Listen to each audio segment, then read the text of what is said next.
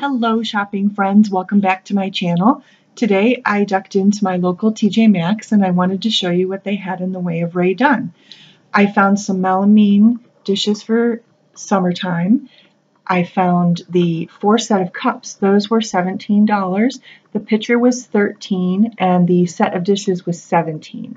This bakeware is ceramic and this homemade piece is also ceramic. And back to the melamine. This is this goes with the set of dishes I showed you in my other video, and those were 17 in the teal. And I found some thank you cards, and besides the thank you cards, I also found some of these little pouches, and I picked up the one that says Stash. I thought they were really cute. Moving on to the clearance section now, there's some more water bottles here, and here they were priced at 8 Now the other store, when I showed you in my Marshalls video, was at 10 This dish was clearanced, and it was 8 at my TJ Maxx.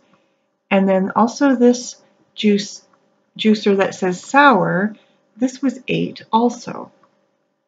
This is a slightly smaller pour pitcher than the one I bought, and it was also $12 on clearance, as well as this apothecary glass jar, but now I don't know the price on this. I didn't, it was, it was too high up and I didn't want to chance it. These dishes for your pets, I found, um, these I don't think were on clearance. But that's what I found at TJ Maxx. And so now I'm going to move on and show you some of the 75% off home decor merchandise that's going on right now at Hobby Lobby that I found.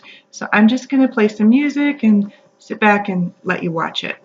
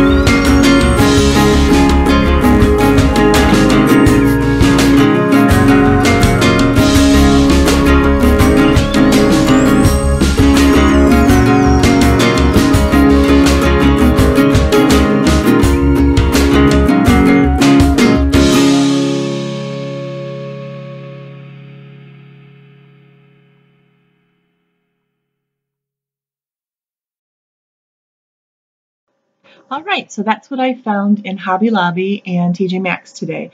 I want to invite you to follow me over at Instagram. Many times when I go into the stores, I will post as I'm seeing things in the stores. So you're welcome to come follow me over there.